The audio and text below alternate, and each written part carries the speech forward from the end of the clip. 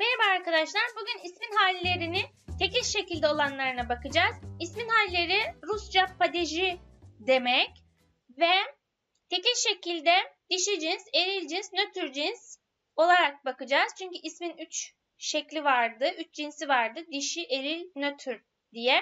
Şurada bakacağımız eril nötr cinsin ekleri aynı olacak hallendirmelerde. Dişi cinsin ise farklı olacak ve anlatmadan önce bildirmek isterim arkadaşlar.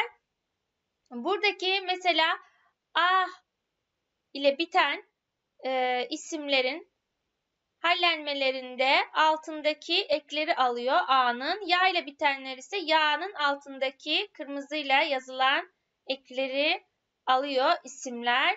E, erilde, nötrde ise ünsüzle ve nötrün o ile biten isimleri aynı ek alıyorlar. Yani e, altlarındaki olan kırmızı ile yazılan ekleri Y ile ve inceltici ile bitenlerde ya e, e, Y ve inceltici ile bitenler ise yine aynı ek alıyorlar. Altlarındaki olan ekleri gördüğünüz gibi aynılar arkadaşlar. Bu size kolay olsun diye söylüyorum. Evet başlıyorum. Imenительный падеж Kto, kim, çto, ne sorusuna cevap veriyor. İsmin yalın halidir. Rodittirni padeş, kogo, kimin, çego, neyin ve otku da nereden sorusuna cevap veriyor. İsmin in halidir. Datirni padeş, komu, kime, çemu, neye sorusuna cevap veriyor. İsmin e halidir. Vinitirni padeş, kogo, kimi, çto, neyi ismin ihalidir. Ayrıca kuda nereye sorusuna da cevap vermektedir.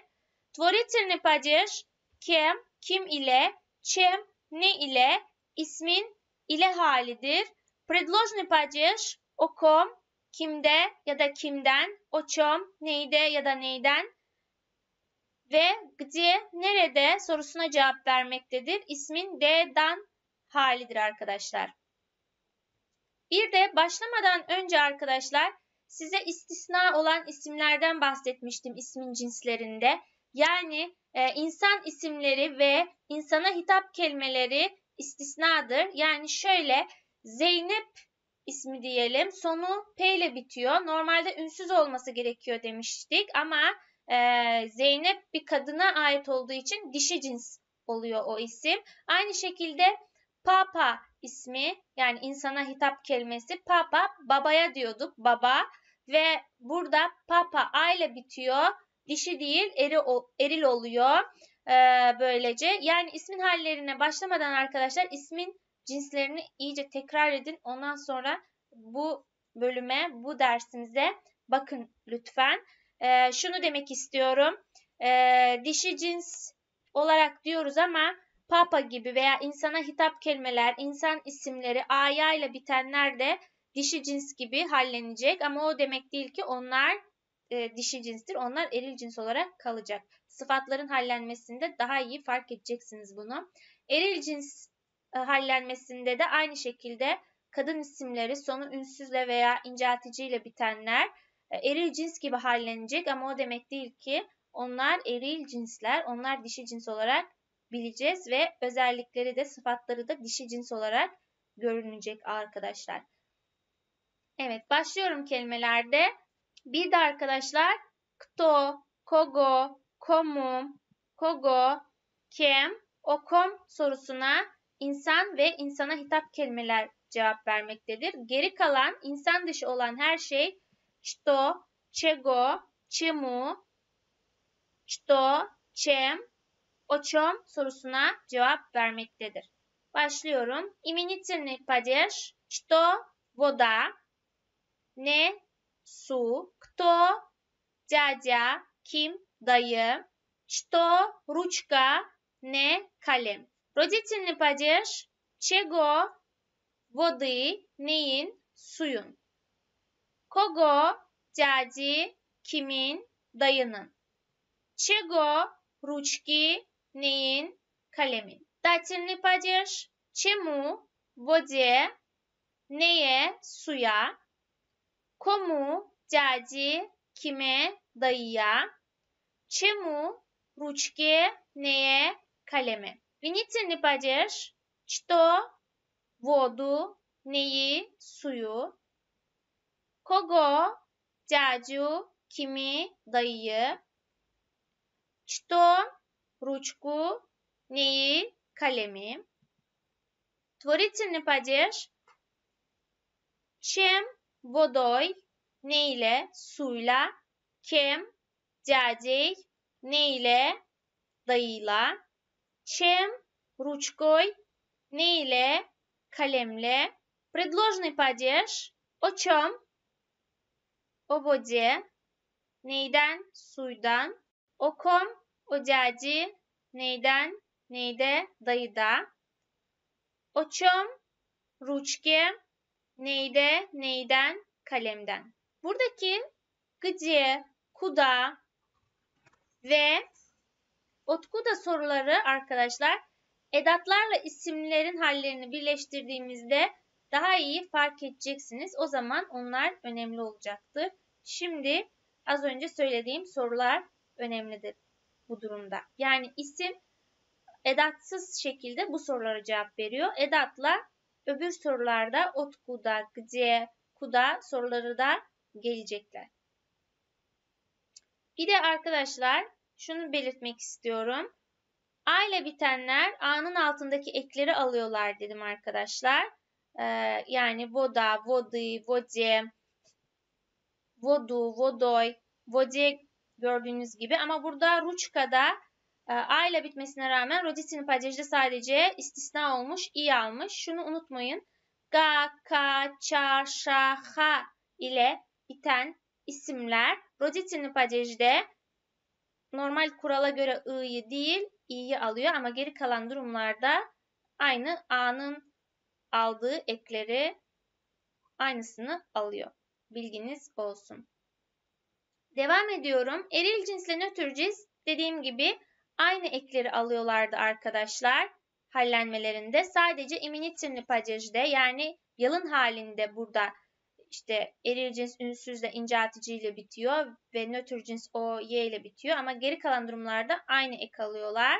Eril cinsle nötr cinsi birlikte gideceğim arkadaşlar. Имени падеж, что дом, что небо, ne ev, ne, gökyüzü. Kto uçitel, kto Ayşegül. Kim öğretmen, kim Ayşegül. Çto more, ne, deniz. Burada bu üçünü birlikte almamın nedeni arkadaşlar bu inceltici ile biten ve e ile bitenler aynı ek alacakları için bu yüzden onları birlikte söyledim. Czego doma Çego, nieba. Neyin? Evin. Neyin? Gökyüzünün. Kogo, uçitela. Kogo, Ayşegül. Çego, mora. Kimin? Öğretmenin. Kimin? Ayşegül'ün. Neyin? Deniz'in. Şunu unutmayın arkadaşlar. Eril cins gibi hallenen dişi cins isimler incelticiyle bitiyorlarsa veya ünsüzle bitiyorlarsa şunu unutmayın arkadaşlar.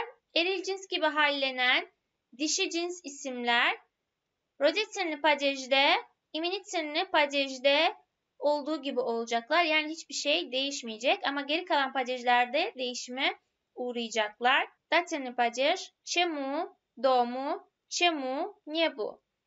Neye, eve, neye, gökyüzüne. Komu, Uçitelu, komu Ayşegül'ü, çemu moru. Kime öğretmene, kime Ayşegül'e, neye denize. Finitini pajajda arkadaşlar. Kogo sorusuna cevap veriyorsa eğer en başa rozetini pajajdaki olan haliyle söyleyeceğiz. İnsan ve insan hitap kelimesi ise ama neyi sorusuna cevap veriyorsa o zaman da insan dışı çito yalın hali gibi düşünüp aynı baştaki gibi söyleyeceğiz arkadaşlar. Burada soruya dikkat edin sadece.